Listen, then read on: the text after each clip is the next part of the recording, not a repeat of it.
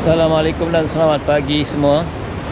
Pada hari ini saya merakamkan suasana pagi Suasana matahari terbit di pantai Tuk Bali. Tetapi sayangnya cuaca mendung Kerana sekarang ini adalah musim tengkujuh Dan yang dapat saya rakam adalah sedikit cahaya. Dan saya masih menanti sinar mentari di waktu pagi. Saksikan video ni. Sap.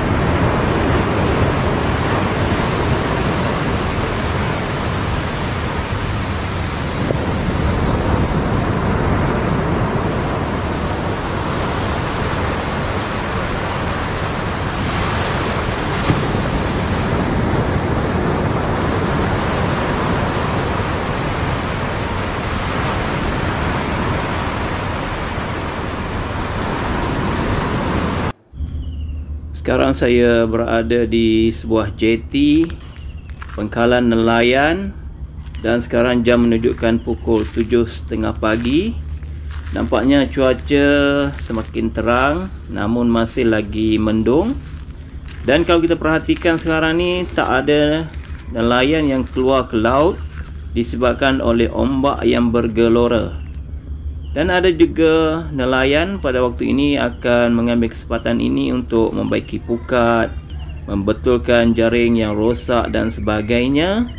Dan ada juga nelayan yang menggunakan peluang ini untuk menanam tumbuh-tumbuhan dan juga sayur-sayuran jangka pendek yang mampu untuk menampung keperluan harian dan juga untuk menjana pendapatan sampingan mereka di waktu tengkujuh sebegini.